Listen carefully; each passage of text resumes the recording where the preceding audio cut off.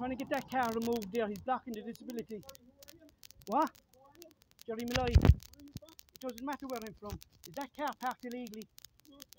Watch this, right? There, there's the steps to go in, right? If I'm on a wheelchair and I come down here, man, follow me.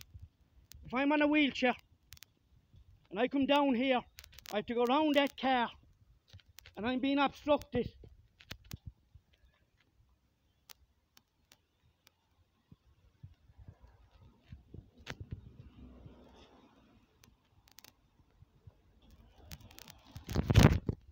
Are you getting that car removed?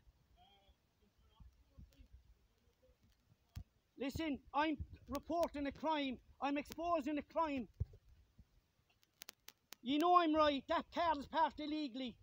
If I had a wheelchair, I can't get in there. I'm, I'm, I'm struggling to get in. Now keep away from me because you're out to pervert the course of justice.